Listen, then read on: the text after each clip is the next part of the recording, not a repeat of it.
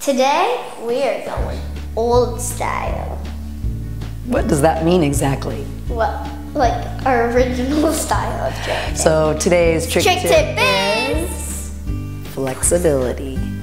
Our number one question that I get on YouTube, Instagram, Autumn's fan page is how do I get more flexible? How can I get my splits? So we're gonna show you a couple things to help you improve your flexibility and what they're used for.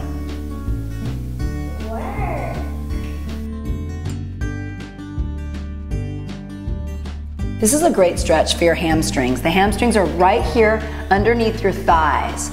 And this is a basic stretch just where you lean forward and you can put your hands on the wall. You wanna try not to round the back and push forward. For more intense stretch underneath here, the hamstrings, I'm gonna actually lift her feet up on the wall a couple of inches, keeping the heels together, the back nice and straight. She's gonna push forward, try to get her hands on her toes or maybe even on the side of the wall.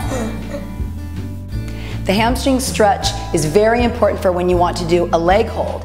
This is the muscle right here that you want to get right in front of your eye. And if you get tricky, you can actually turn it. Another great hamstring stretch is what we call the Barbie split. A Barbie split is when you start with the toe under, she slides herself down, keeping everything very, very square, not opening up here. The bottom of the hamstring is getting stretched and also the inner hip flexor is really getting a nice stretch in there. This is great for leaping. this would be your split in air. And this will help you improve your leaps.